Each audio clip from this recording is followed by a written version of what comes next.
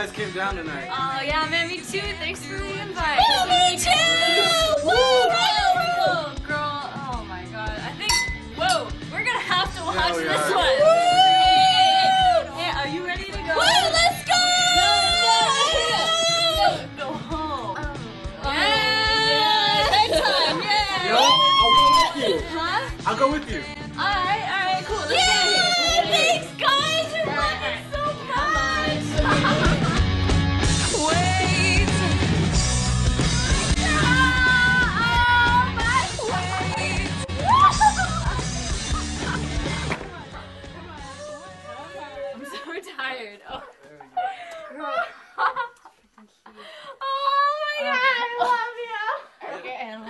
I, I got it. Are you I got it. sure? Yeah, I got it. Oh, Oh, you're a yeah. freaking lifesaver. Thank you so much. Oh. Okay, go with him.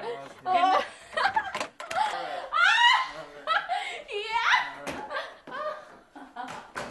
Oh, I so much fun with you. Thank you so much. I so much fun tonight. You are the best. Oh my god.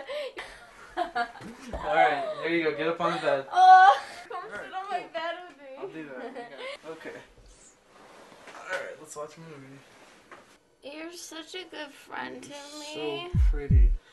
but I just want to be friends with you. Relax. Let's watch a movie. Okay, um.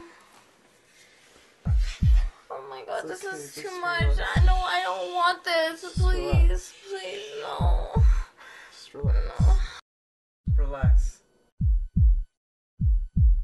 Please, no. California's penal code is different than many states' law books in that in California there's no one section prohibiting sexual assault.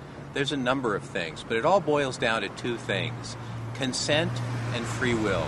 Any sexual act perpetrated on someone else that doesn't include free will and consent could be interpreted as sexual assault.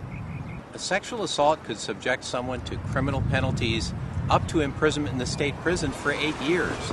But at a university, there's a number of other things that could happen. A person could face suspension or expulsion from the university, loss of any future financial aid or other educational benefits, and of course, there could be civil penalties even after the criminal and administrative cases have finished.